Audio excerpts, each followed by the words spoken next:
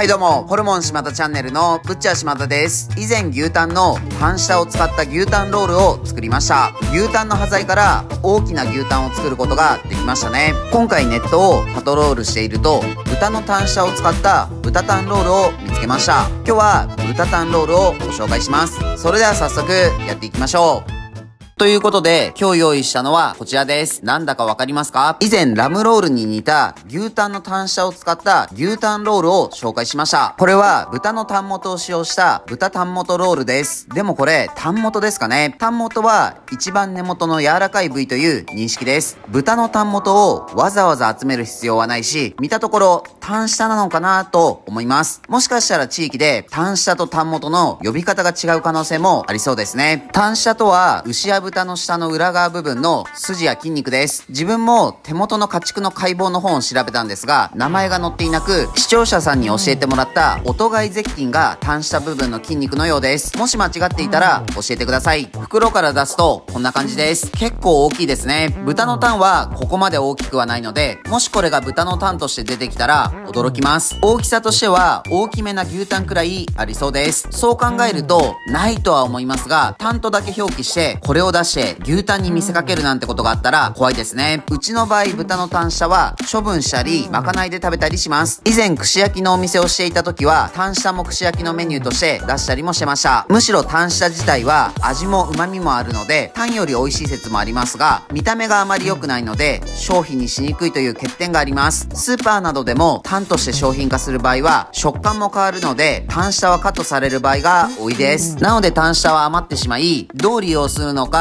悩む部位の一つです。使い道がないのであれば処分してもいいし、工夫次第で美味しく生まれ変わらせることもできるという魅力ある商品とも言えます。そんな部位をまとめて丸めたのが今回の商品です。ということでこちらが何日か貯めた単車です。これを使って豚タンロールを作ります。先ほどの商品は牛脂や調味料を使って味を変化させていますが、今日は豚タンのみで作ります。筒状の袋を用意して、そこに動画でおなじみのトランスグルタミナーゼと呼ばれる決着剤を付着させた単車を入れて、しっかりと圧を加えて形を整えていきます。前回牛タンロールの時に圧が足りていなかった気がするので、今回はより圧をかけて詰めていきますます。詰め終わったら袋を閉じて、冷蔵庫で数時間置いて決着させ、その後、冷凍庫に移して冷凍させます。冷凍して完成したものがこちらです。真夏に枕代わりに使ったら気持ちよさそうな大きさの豚タンロールの完成です。それでは、ミートスライサーを使用して薄くスライスします。これは大きな豚タンですね。ちょっと厚切りにしてみます。こんな大きな豚タンはあるはずないですが、インパクト大です。市販の豚タンロールと並べてみてもそっくりです。それでは焼いて食べてみましょう。フライパンに油を引いて、市販の豚タンロールと自作の豚タンロールを焼いてみます。市販の方は肉からアクのようなものが結構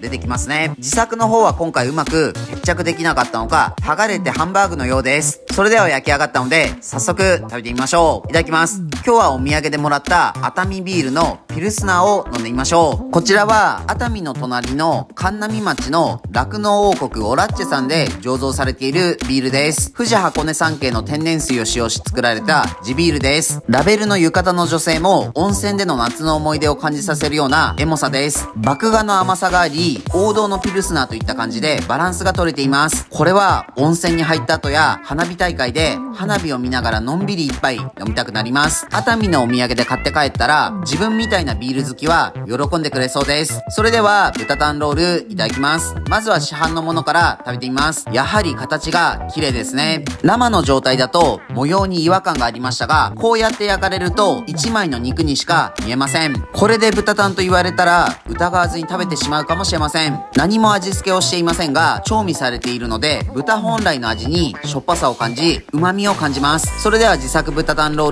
ル食べてみます。決着はされていますが、ところどころの隙間が剥がれてしまい、焼いたら形もいびつです。やはり市販のようなものを作るのは難しいですね。液体などで全体にまんべんなく決着剤をつけるとか、工夫が必要そうです。あととはやはり圧ですかね。味は単下の味ですね。なんだか粗挽きのハンバーグを食べているような食感です。これが出てきて豚タンには無理がありますが、完全に別な商品としてならありですね。材料費などが上がっているので、今後こういった端材の活用方法が特に大事になってくるかもしれません。今日も美味しかったです。ごちそうさまでした。はい、本日の動画は以上です。最後までご視聴ありがとうございます。豚タンロールいかがでしたか？ソーセージとかに混ぜるとか、餃子に混ぜるなど、工夫はいろいろできそうです。自分たちは群馬県前橋市と高崎市で、ホルモン島田というホルモン屋をやっています。群馬には美味しいお肉を食べられるお店がたくさんあるので、もし群馬に来た際はいろいろ探してみてください。そして、埼玉県熊谷市にホルモン島田4号店も新しくオープンしたので、そちらもぜひチェックしてみてください。この動画がいいなと思いましたら、チャンネル登録、高評価よろしくお願いします。